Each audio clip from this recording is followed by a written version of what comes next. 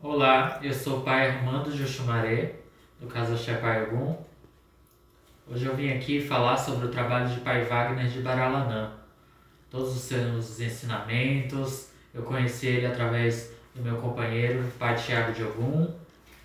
É, ele indicou, fez que a gente é, se associasse à FEBRAE, hoje a gente é federado, graças à indicação dele.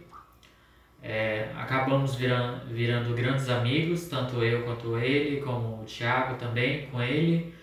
E eu vim aqui hoje para falar, para desmentir é, essa pessoa aí que está querendo queimar a imagem do pai Wagner, tá?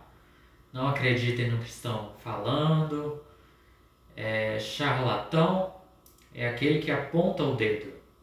Em vez de julgar, a pessoa tem que saber, tem que conhecer antes de apontar o dedo.